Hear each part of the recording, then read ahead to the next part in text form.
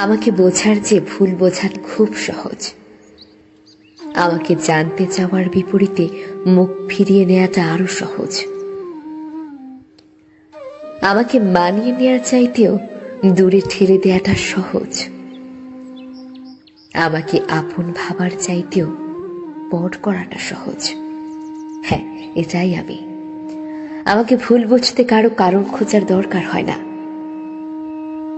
আমার রিজার্ভ চলাফেরা অনেকের কাছে অপছন্দ। আমি লোকের সাথে মিশি না, ব্যাপারটা তেমন নয়। আমি মিশি, কথা বলি, খোঁজ নেই, আড্ডা দিই, সময় দিই, ভালোবাসি। তারপরও আমার দোষ ধরাটা খুব সহজ। লোকের পেছনে খরচ করার কারি টাকা আমার নেই। আমার না আছে মস্ত কোনো পাঠশালা ডিগ্রি না আছে এটা ওটার বড়াই। হয়তো অনেকের চাওয়া পাওয়ার হিসেবের সাথে আমার হিসেবে খানিকটা গরমিল। আর তাতেই আমার যত খুদ সবাইকে খুশি করা আমার স্বার্থের বাইরে। কেবল দেখা হলে হাসি মুখে এতটুকুই জিজ্ঞেস করতে পারি, কেমন আছেন? বাসার সবাই ভালো? শরীর ঠিক আছে? আর সময় থাকলে কোথাও দাঁড়িয়ে কিংবা বসে একটু গল্প আড্ডা, এই তো। এটাই আমি।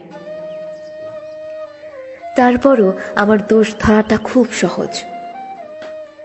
আমি সবসময় সবার খোঁজ খবর নিতে পারি না। পারি না বলাটা ভুল হবে। নেওয়া সম্ভব হয় না। কাজের চাপ থাকে, বিভিন্ন ব্যস্ততা।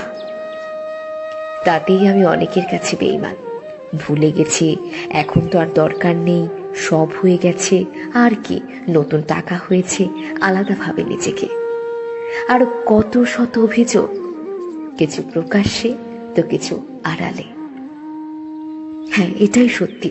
আমাকে বোঝার চেয়ে ভুল বোঝাটা খুব সহজ।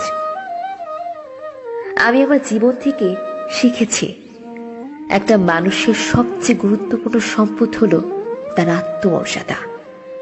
আমি কখনোই চাইব না আমার আত্মমর্যাদা নষ্ট হোক, কিংবা আমার কারণে অন্য কারও আত্মমর্যাদায় আঘাত লাগুক।